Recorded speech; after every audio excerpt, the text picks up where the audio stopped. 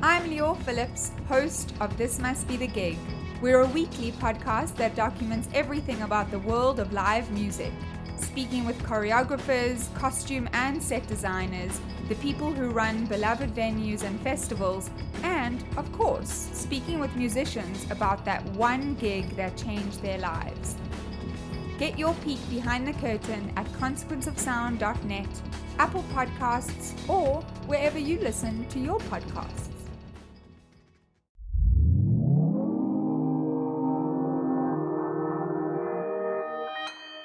Consequence Podcast Network.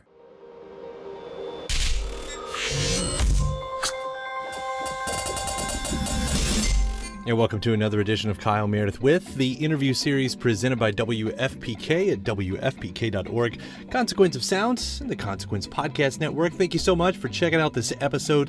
Uh, always appreciate it, especially to you all listening who uh, subscribe to the series. Uh, of course, uh, we put out new interviews every Monday, Wednesday, and Friday. So if this is your type of thing, if you like hearing about your favorite artists, what they're up to, or you want to discover some new ones, or know what's happening in the music world, staying up to date, hit that subscribe button. iTunes, Apple Podcasts, Spotify, YouTube, wherever you're listening from, we've got a way for you to subscribe and to get a brand new interview delivered straight to your preferred listening device every Monday, Wednesday, and Friday.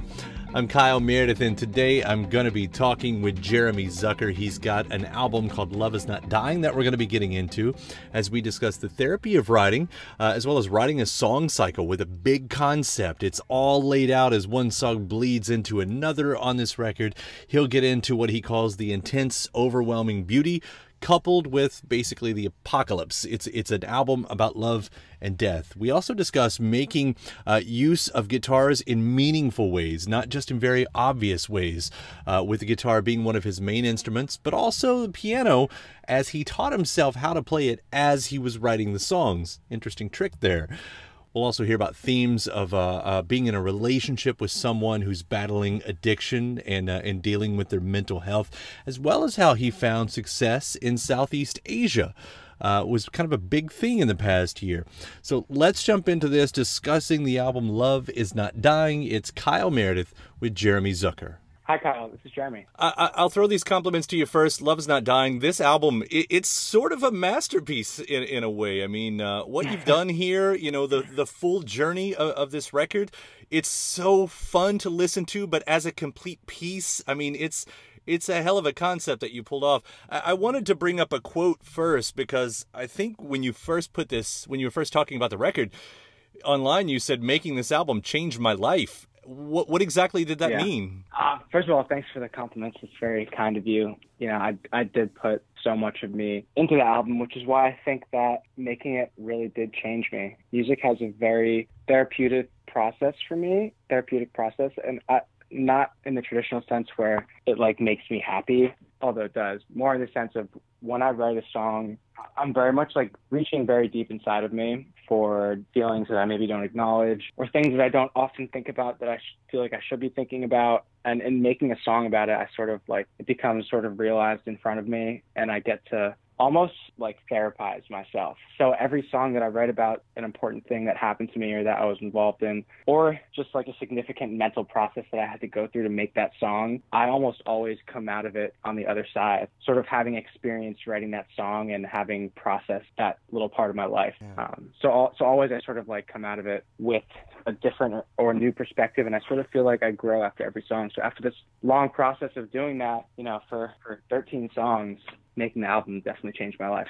Which makes sense, and it's it's interesting to see the evolution of, of your writing too, because going from one-off songs, EP, singles, that whole thing, to creating something that is an album. And, and I'll point out again, you know, for those who, who may have just heard one or two songs online in, in the way we do these days, it's a full piece. I mean, I don't know if you call this a song cycle, a, a mini opera, or what, but but in a sense, you've made an album in a time in a genre and in a time where albums aren't always thought of in the exact same way how did that come about? I've always just been a fan of the, the cohesiveness of project, um, and you know i think that's why it took me so long to make a full length album because people these days are just not adjusted enough to sit down and listen to a whole project. And i'm definitely guilty of that when i listen to music myself. Um, if an album is like more than 40 minutes or more than like 13 songs, I get really bored of it and it's hard to sit down and consume it all in one session, which is how albums are supposed to be consumed. So yeah, I think that's why it took me so long because partly I, I wanted to make sure that my fan base was ready for it and that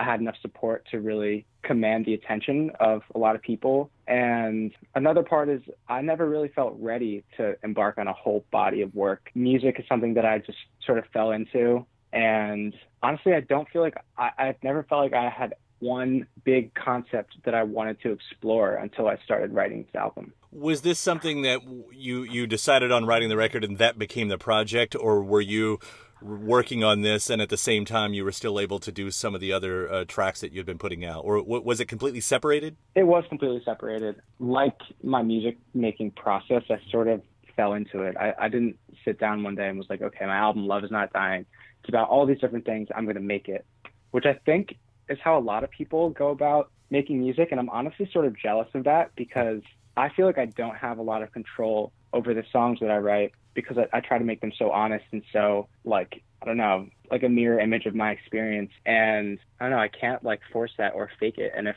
I if I feel like I have nothing to write about, I'm like not going to be writing music. With it though, the way the way it is laid out, and, and I'll I'll hit on the album point one more time too because it's not just still a collection of songs that sort of hint on the same themes or everything. I mean, you've made it orally. The songs bleed into each other. You know, as one song's tailing off, you don't quite realize that you know we're listening to the next song at the, at that point. And I think that's what I meant a lot of times as the journey of this album.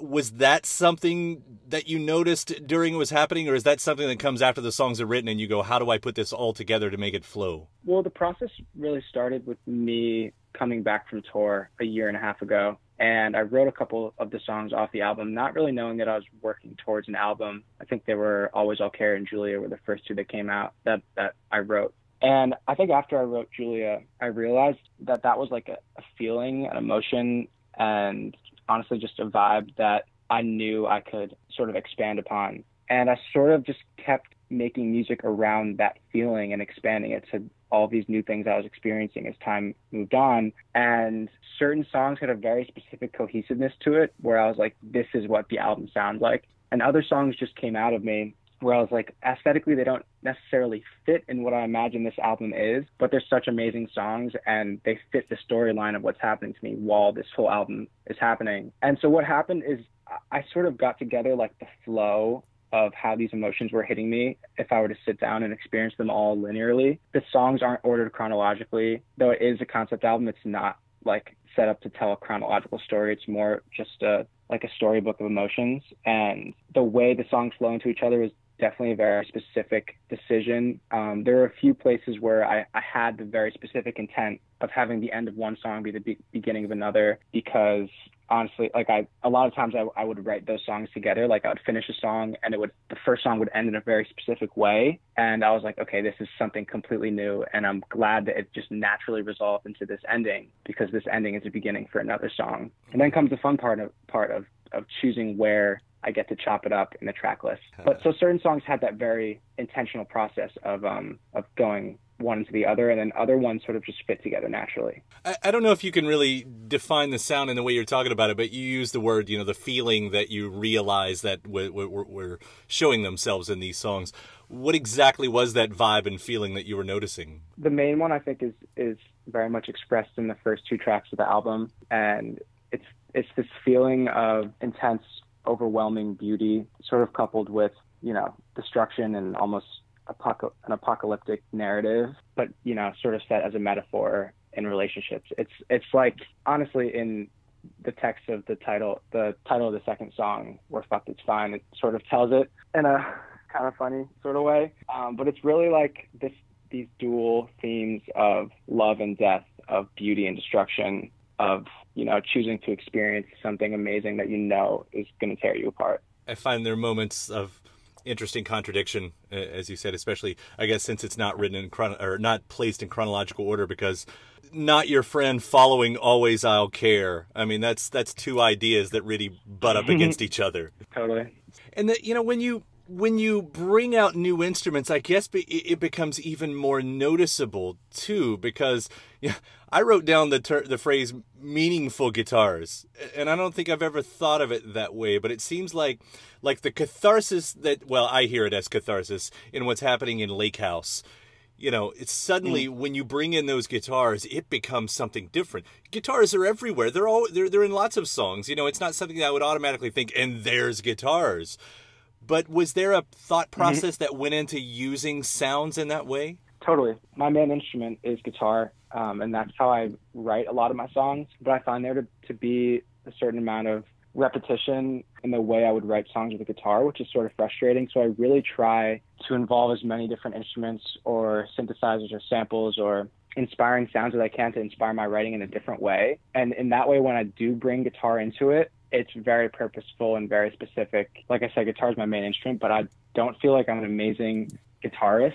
I definitely like do a lot of takes to get the part perfect, and I put a lot of thought into what the part is. And I'm never sort of just playing to play. I think as guitar is used as sort of a passive instrument in a lot of ways, um, and I just don't just don't really enjoy producing it that way. Uh, some of the most outstanding moments on the record too. It, it's also interesting that guitar is your main instrument because you know if, if you just were to listen to this record, you, are a pianist uh, or a keyboardist, synth, you know, whatever. Uh, it it almost seems like keys take the front and center for most of it. Totally. I think there's a certain amount of luck in that. Um, I grew up playing piano, but when I was about 11 or 12 years old, I just started to hate it and really wanted to play guitar and sort of convinced my parents to let me pick up the guitar. And I guess I wanted to quit piano also, which is a very regrettable decision now because about two or three years ago, I could barely play a chord. Um, so I've been really slowly teaching myself how to play. I can really only play in the key of C, and the key of G on the piano, and I have a very rudimentary knowledge of chords. And in recording a lot of the piano parts for the album, which I did myself, um, I very much had to like teach myself how to play the parts that I was writing, which was an interesting process. It sounds like it would be a, a little bit long, but it's also a story as old as time, right? You know, kid is given piano lessons, rebels against it, takes up an entirely different instrument. yeah. You know, some of the songs on here, I mentioned Always I'll Care a minute ago, uh, which, you know, a, a great song. There are songs that have obviously found an unintended relevance post pandemic and, and now with the protests. Do you hear some of these songs in relating to, you know, uh, current events in that way? Yeah, I think there was one specifically that fans were pointing out, like, wow, this is strangely perfect for the time we're living in right now. But people have, have sort of drawn that um drawn that idea that it was written. I mean, it came out during quarantine, but I wrote a lot of these songs like way back. I mean, I think that happens anyways. Uh, you know, as listeners, as fans of music, as you know, we tend to hear what we want to hear. We try to hear ourselves in the music, obviously, uh, with, with, connection like that. But when you put something out in the world, and and suddenly maybe it, it starts speaking to something much bigger than your intentions.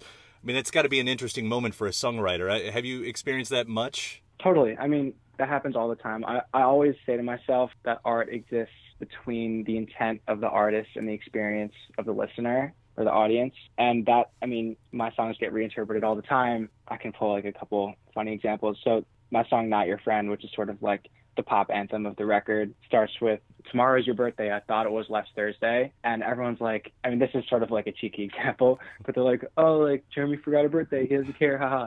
But the line, like if you look at the next couple lines, it's we know you love a party, go celebrate, and I'll be blah blah blah blah blah. And the idea is that like I like it, it's about this type of girl that wants to celebrate her birthday multiple times. And like the and over a couple of weeks. And it's about this sort of archetype of of this LA girl that is super superficial. And a couple of my songs are about on this album specifically it's about being in a relationship with someone that's uh, battling mental illness and addiction. And you know a lot of that isn't necessarily you can't really pick it up in certain circumstances if you don't know you don't sort of know that going into it. And so it's really interesting to you know, I get DMs all the time from fans saying about how this song helped them understand this situation, and I sort of look at it. I'm like, that's so sweet, that's so awesome, but that's not what the song is about.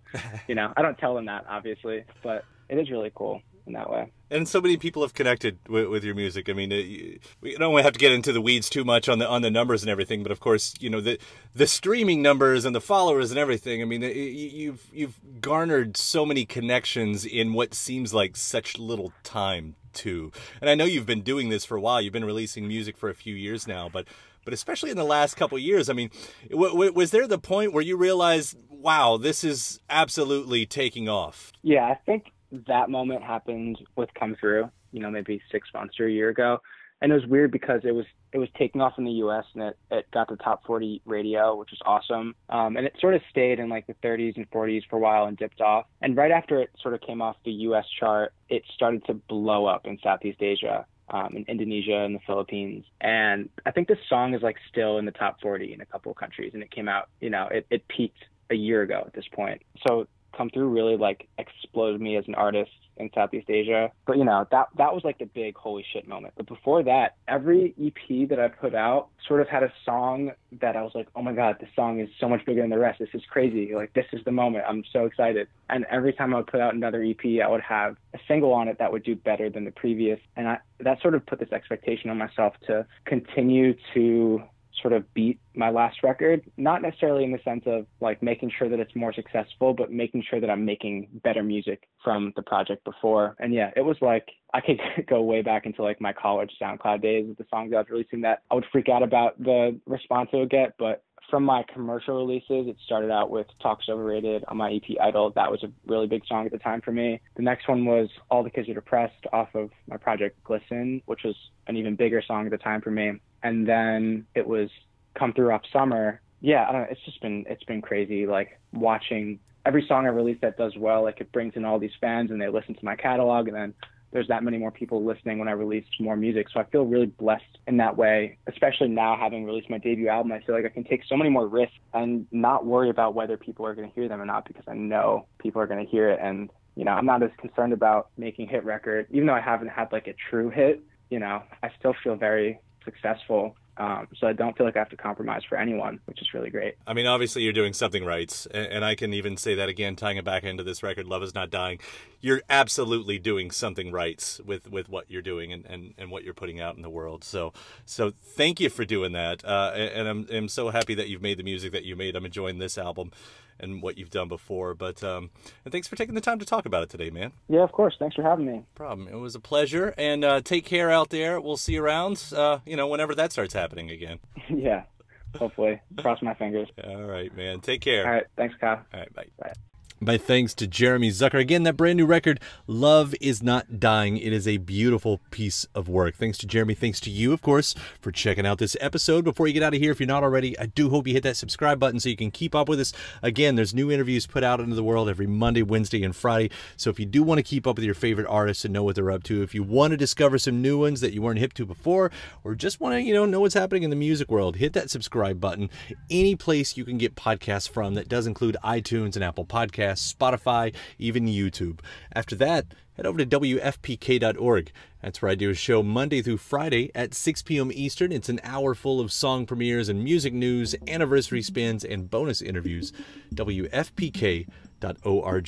Consequence of Sound, they've got your music and film news. You can also find me on uh, most of the social media hotspots at Kyle Meredith. Please follow and like along there as well. That does it for another edition of Kyle Meredith. I'll see you next time.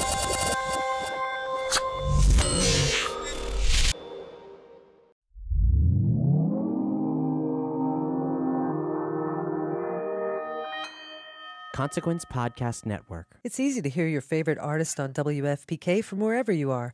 Listen on your smart speaker, live stream from our website at WFPK.org from Louisville Public Media.